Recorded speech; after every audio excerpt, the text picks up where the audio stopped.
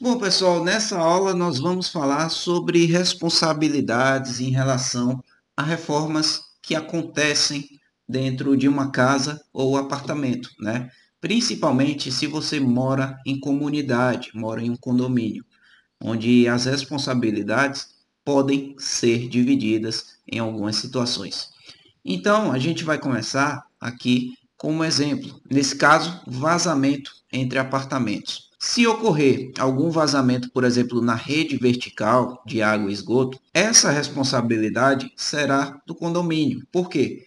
É uma rede de uso comum, onde todos os lavatórios, vasos sanitários, chuveiros de cada apartamento estão conectados àquela tubulação principal, que vai direto para uma caixa lá no térreo. Então, se houver um vazamento em uma tubulação desse tipo, é, a responsabilidade vai ser do condomínio em geral. Inclusive, se ocorrer obras realizadas nos apartamentos em virtude desse problema na rede, né? Por exemplo, é, ocorreu uma fissura na tubulação bem na altura do seu apartamento.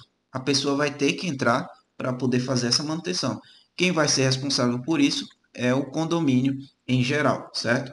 Então, o que, é que vai acontecer geralmente? Vai haver aí um aumento na taxa do condomínio por conta desse reparo, né, que vai ser rateado ali entre todos. Agora, se ocorrer um, um problema ali na rede horizontal, né, que no caso a rede que está dentro do apartamento do cliente, aí o que, que vai ocorrer? As unidades ficam responsáveis pelos reparos e pelos danos. Ou seja, o cliente é que vai ficar responsável. Condomínio aí já não se responsabiliza, porque já não é algo coletivo, é algo de uso individual. E uma observação aqui é que se houver algum vazamento no teto do banheiro, em virtude de problemas na rede horizontal, o responsável pelo reparo é o morador da unidade de cima, né? Até porque a tubulação é do banheiro dele. Então, ele vai ter que pagar aí todos os reparos, inclusive em relação aos danos que podem ser causados na laje ou então no, no forro do seu cliente, né? Que podem formar manchas, etc. Então, ele vai ser responsável por pagar tudo isso, beleza? Uma outra situação, coberturas. As despesas relativas a partes comuns de uso exclusivo de um condômino ou de algum deles incumbem a quem delas serve. Então, se ocorrer algum problema desse, né, é, como por exemplo infiltrações com origem no terraço, né, como é considerada uma área comum do, da, da edificação ou do condomínio, esse, esse custo vai ser rateado ali entre todos os condôminos, certo? Vai ser de responsabilidade ali do condomínio por esse reparo. Por quê? Não tem ninguém, por exemplo, morando na casa de máquinas, né? Então você não tem como responsabilizar somente uma pessoa. Isso aí vai ser responsabilidade do condomínio, entendeu? Outra situação, varandas e sacadas. A manutenção do piso ou teto das varandas é de responsabilidade de cada unidade. Como eu já falei, está dentro do seu apartamento, não é de uso coletivo, você é o responsável, certo? O condomínio não tem como se responsabilizar por isso. Agora, se comprovado que o vazamento possui como origem, por exemplo, uma tubulação vertical da rede central, que serve todas as unidades, então essa responsabilidade será do condomínio, ou seja, todos pagarão pelo reparo. E a manutenção das partes externas e visíveis da varanda cabem ao condomínio. Passou ali da sua fachada, aí a responsabilidade é do condomínio, como por exemplo a parte do parapeito, né, ou, ou do alambrado da varanda.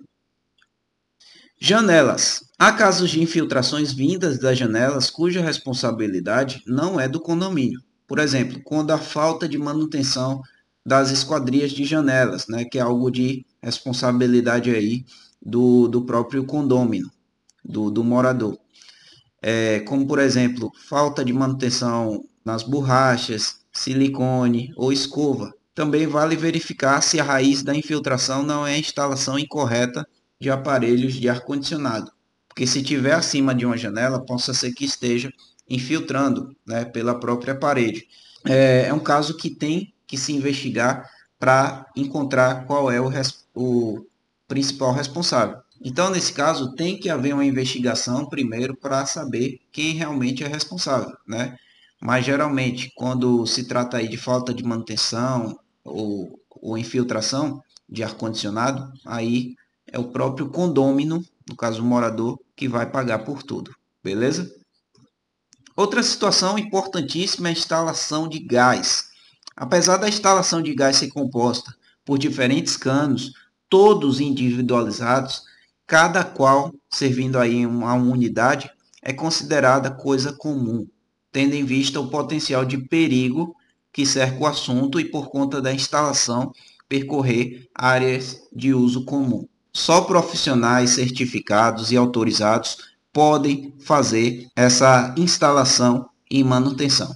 Então, tanto a instalação quanto a manutenção são de responsabilidade do condomínio e os gastos deverão ser arcados por todos os condôminos com base no critério de rateio de despesa previsto na convenção. E esses são aí algumas das responsabilidades, né, pessoal, que eu tinha para apresentar. É claro que vão existir outras, como por exemplo, interfone, né, que se for comprovado que o próprio morador é que causou o dano, ele fica responsável.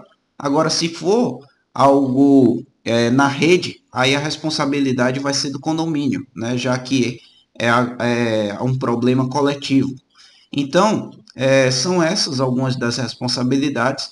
E na próxima aula nós vamos começar a falar aí dos serviços que necessitam e não necessitam de laudos, beleza?